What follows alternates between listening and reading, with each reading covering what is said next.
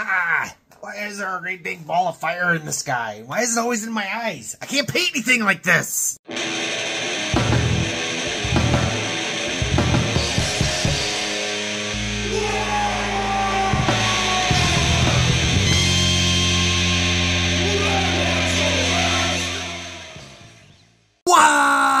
Welcome back to the Red Wunz Go Fast. Old Big Mek here, and it's time for that hobby video I was talking about. Because as you can see, some things have changed behind me. Are you ready to take a look? Let's do it! All right, so for those of you that don't know what I am on about, uh, the last couple of videos I've been talking about my hobby area, which is behind me in the videos, um, not working real well basically because the sun has come out. And when the sun has come out, it glares through the window right onto my painting area. In fact, I'm going to uh, cut in some footage of the before right now so you can kind of get an idea what I'm talking about. Alright, past Big Mek here to show you what I'm talking about with this. Here's the window. You can see it's actually sunny outside for once. And there's where I work.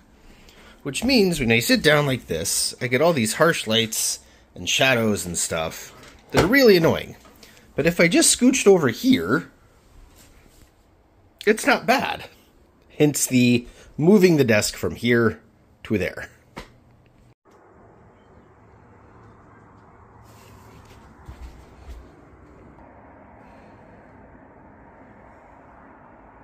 So, as you see, it wasn't really ideal. Like, I had this great big desk to paint on, and right where I'm painting is where the sun was coming in. And it felt like if I just moved the whole stinking thing a little bit to the right, that would go away. So, I went and did it. You want to see it? Let's look at it. Dun, dun, dun, dun, dun, dun. I moved it.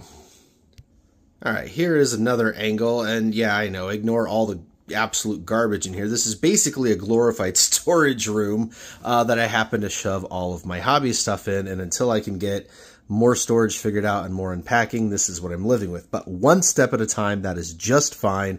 And we are working on it. So what I did is I moved the whole desk here over. Uh, as you saw in the old footage, this little table used to be on this side. I'd have little armies on it and stuff. But that was actually really bad because um, I tended to stack things on it and stack things in front of it, so I couldn't actually get to it. Um, and it shoved the table all the way over. The big deal about all of this for me, honestly, was this light. You see, it's on this uh, little clamp here uh, that you need a lip on, and you can see this particular desk is solid uh, on this side. So you would need to be somewhere here in the middle uh, for it to clamp to. And by doing so, I wasn't able to connect all of my uh, paint holders together. These have little magnets in them so that they uh, go together. And uh, yeah, so the whole table was out from the wall. Those were offset. It screwed up the whole space. And then just kind of sucked. It also meant that both of my lights, uh, that one and that one, were on the same side. So I had a bunch of directional light from the sun and two lights. I couldn't see anything from this side. So now with this, uh, I can crank this light a little bit over like so. It provides a direction from this side. Same thing with this one from that side, and now I've got much more even light. And also, the sunlight that is coming in is uh, sitting kind of here instead of here, uh, so it gives me some more options there. And then, of course, I can always scooch my butt over and paint over here. So all in all, it has been a much needed change. All right, so why is this such a big deal? Why do we even need to do a video about it for moving a desk a couple of feet? Well, it all comes down to your hobby space needing to be as um, not just efficient as possible, but as comfortable as possible in multiple ways. And I'm going to explain. Basically, what it comes down to it, when we are doing our hobbying, whether it's you know building new kits or painting things, um, having that workspace is extremely important. And the more the workspace fights against you, the harder you're going to work on whatever it is you're doing and frankly, the worse the outcomes are going to be. Think about it, right? Put yourself in a uh, hypothetical scenario. Let's say that you are uh, painting, uh, you're doing it at your, uh, say, coffee table, right? So you're sitting on the floor, you've got uh, some newspapers spread out, and you are hunched up like this, trying to paint some things, and the lighting that you have is basically a TV in front of you and a little yellow lamp behind you how well do you think you're going to paint and how long do you think you're going to paint for? right? I don't know about you guys, but old Big Mek here is getting pretty old. I can't sit on the floor, uh, you know, like a kindergartner very long before my back is just screaming at me and all these other things. Uh, so, you know, where you're sitting is important. The height of the table is important. Uh, what you have to rest your elbows and your wrists and stuff on is important. Um, your lighting is extremely important. So every one of those things is a factor in how long you can paint and how well you're going to do. I mean, it, think about it. If you are uncomfortable and your hands are going numb and you can't see anything, do you really think you're going to be putting out your like golden demon level work? Probably not, right? When you look at all of the, you know, the big YouTubers and Instagram people and whatnot, uh, people that paint you know, semi professionally or professionally, this is like their gig, it's what they do.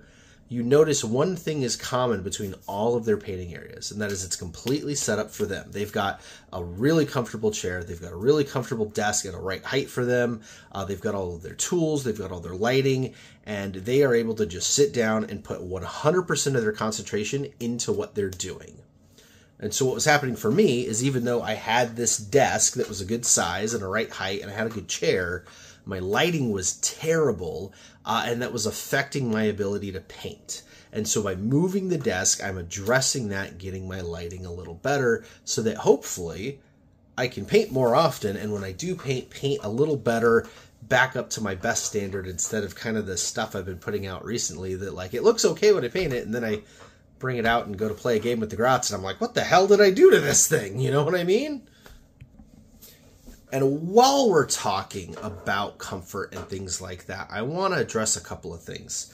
Uh, you guys have noticed in a couple of my videos, I've got one of these uh, kind of beanbag snake things for my wrists. Uh, old Big Mek has uh, some pretty serious nerve damage uh, from the military. Uh, thank goodness, not my painting arm. Um, but it means that certain activities are actually really hard for me. One of the things that got me back into the hobby was actually my physical therapist telling me I needed to do things with my hands, like serious hand-eye coordination thing, uh, in order to keep my nerves working properly. And so I got back into painting uh, just so I could be doing that. So um, yeah, even just holding the model and like having to manipulate it, like that is legitimately a form of therapy for me. So having things like this is really important. Uh, you know, if I'm resting my wrist on it, it helps uh, keeps the you know all the blood flow and all the nerves and whatever uh, aligned so that I don't get hurt with that. You'll also notice um, I often use paintbrushes that have a thicker handle. Right. So standard paintbrush, right? You hold that. Um, you really got to have a lot of pinch strength in that, uh, and it gets pretty fatiguing after a while. This, even though it doesn't really look like much, that is extremely easier to hold, and, the, and that triangle uh, like really makes it where you don't have to like pinch as forcefully. So uh, painting with this, I can only paint for, um, you know, uh, maybe 10, 20 minute session before my wrist is screaming and my fingers are screaming and I literally can't do it anymore. This I can get more like uh, 30, 40 minutes out of uh, before I really can't do it anymore. So um, that's why I prefer these, even though they're not my favorite tips. Uh, that ergonomics is really important and other things too. You guys may have seen this chair uh, in a few of the videos. This is an actual uh, ergonomic uh, chair fitted to me, and it, it's adjustable in about a zillion different ways. Uh, I've even got these um, like memory foam pads on the elbows again for all the the nerve stuff. So depending on whatever it is you've got going on or your health and well-being having things like this is really important. You know you can sit in a hardback chair you know but for how long? You get something that's truly fitted for you that uh, you know is comfortable for you to sit in so that you can maximize uh, your hobby time.